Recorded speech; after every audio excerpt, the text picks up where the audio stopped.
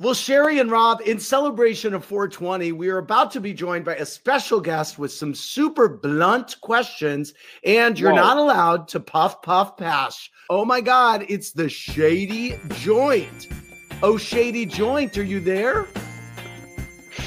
Oh, there's Wow. the Shady Joint. Look at Okay, the shady, Shady joint. Joint. He's asking us questions. What's your first question? Uh, your first question is for Rob, Shady Joint. What is it?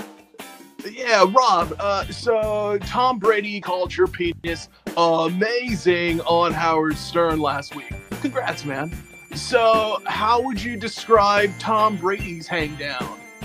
Oh man. Well, he did describe it as looking amazing, which I think is the biggest compliment in my career, alongside playing with Tom. Were you surprised that he called your penis amazing on Howard Stern, by the way? I see some headlines uh, that you know that he called my hot dog uh, amazingly nice.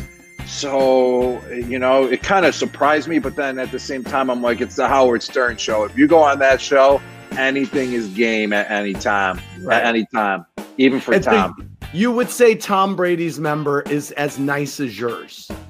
And, you know, not as nice as mine. I mean, I mean, I mean, the guy didn't flock it as much as I did, so maybe I got a sneak peek. You know, you got to always take a sneak peek.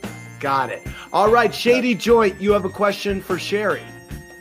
Cheri, uh, which Bravo celebrity does Jeff Lewis badmouth the most to you about? Uh, harsh man. Um, oh my gosh. Uh, let me see. Um, I have to be honest with you. He saves all of his trashing for when he's on air. Yes, He really- does.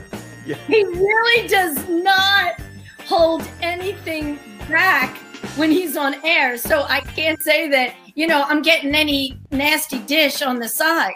You're you're very funny. On I love listening to you on his radio show. All right, Shady Joint, last question. Rob, you're a three time Super Bowl champion. Rank these halftime artists from favorite to least Katy Okay. Perry, Lady Gaga, and Maroon 5. Whoa. Whoa, all right. So when you're playing in the game, you don't get to see the halftime show.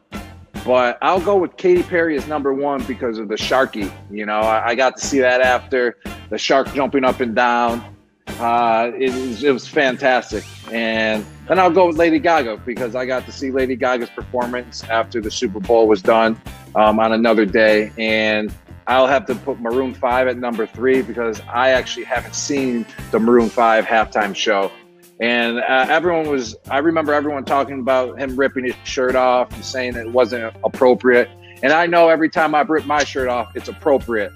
So that, you know, so I got to put him at number three for ripping his shirt off and being inappropriate. Because when I do it, All I'm right. appropriate.